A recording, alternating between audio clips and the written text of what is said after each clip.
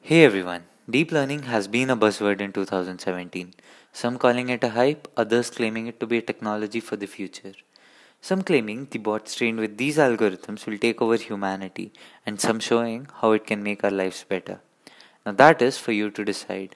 I'll not be taking any sides. Instead, what we'll do in this series is we'll talk about some deep learning algorithms and implement them. The codes will be on GitHub as usual. So, what is deep learning? Now, deep learning is a subset of machine learning and it deals with the algorithms which extract and learn from the high level abstractions of the data. And what does that mean? So, in many machine learning algorithms, we have to go through a tedious task of extracting features.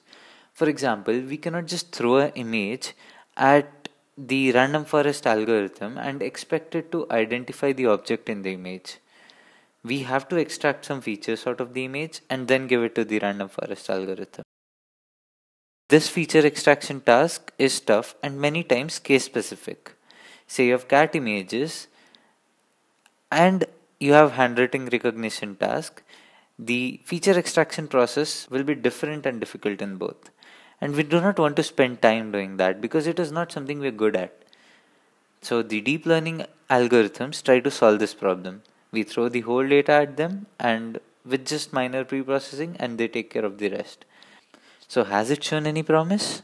Yes it has.